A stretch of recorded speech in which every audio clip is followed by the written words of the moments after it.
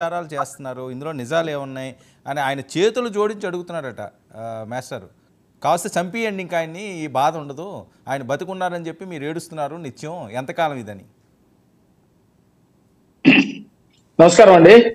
వర్మ గారు మీకు ప్యారోలో ఉన్న పెద్దలకి వీక్షకులందరూ కూడా. ఆ,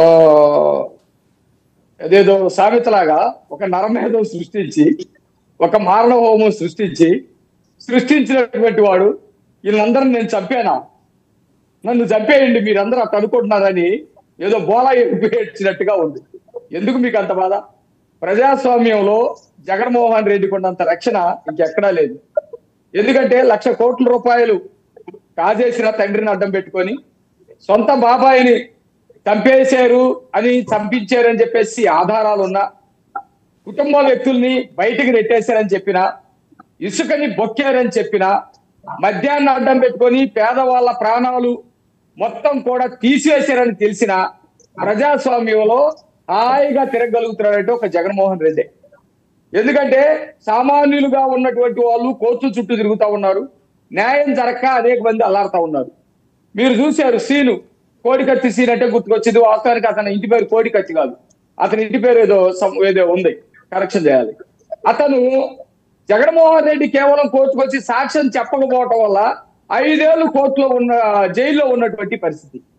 జగన్మోహన్ రెడ్డికి ఈ దేశంలో ప్రజాస్వామ్య దేశం అవటం వల్ల ఆయన హాయిగా నేరాలు చేసుకుంటా తిరిగాడు.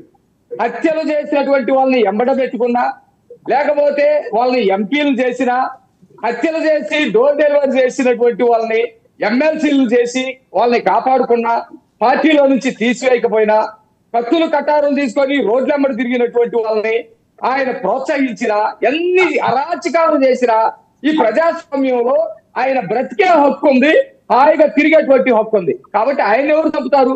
చంపితే గింపితే అధికారం కోసం ఎవరినైనా అధికారం కాపాడుకోవటం కోసం ఎవరినైనా ఆయన చంపేటువంటి అవకాశాలు ఉండి తప్ప జగన్మోహన్ రెడ్డిని ఎవరు చంపేటువంటి అవకాశం లేదు.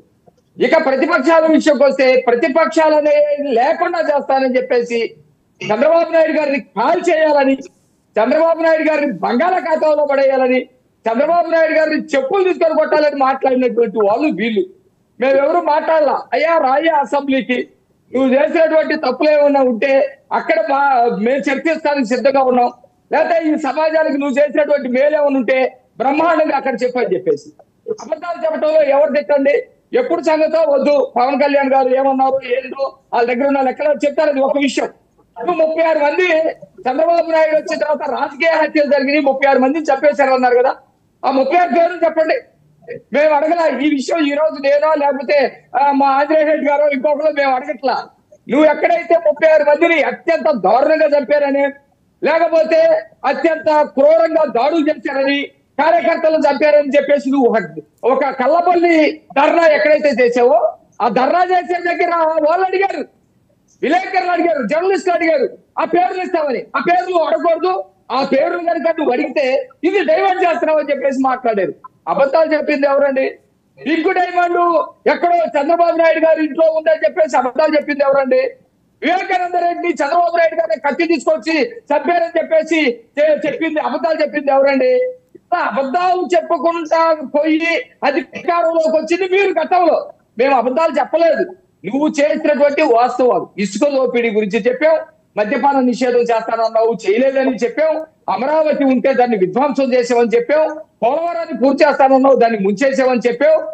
అనేక మంది ఎస్సీల మీద ఎస్టీల మీద బీసీల మీద హత్యలు అత్యాచారాలు దాడులు డోర్ డెలివరీలు చేసావు అవన్నీ కూడా సాక్ష్యంతోటి చెప్పడం వల్ల ప్రజలకి నువ్వు చేసినటువంటి నిజాలు తెలిసి నిన్ను ఓడించారు. ప్రజలను మోసం చేశారంటారేంటి నాకు అర్థం కాదు. శ్రీనివాస్ రెడ్డి గారు మన వైసీపీ నాయకులు పెద్దలు ఏంటి? మోసం మిస్సింగ్ చేశారు. మిస్సింగ్లు రాగడేంటి ఆరు వందల అరవై మూడు మంది మిస్ అయితే ముప్పై వేల మంది పోయారని చెప్పి అబద్ధ ప్రచారం చేసి ప్రజల్ని తప్పుతో పట్టించారు అన్నది. చాలా లెక్కలు తేలాల్సింది ఉంది ఈ నలభై వేలకి సంబంధించినటువంటి కేంద్రం లెక్కలు చెప్పిందా? నేనైతే చూడలేదు. ఆంధ్రప్రదేశ్లో ఉన్నంత క్రైమ్ రేటు ఎక్కడైనా ఉందా పొందటి వరకు? ఆంధ్రప్రదేశ్లో ఉన్నటువంటి ప్ర- ప్రజా ప్రతినిధులు క్రైమ్ క్రైమ్లో ఉన్నటువంటి వాళ్ళు ఏటీఆర్ ఏం చెప్పింది?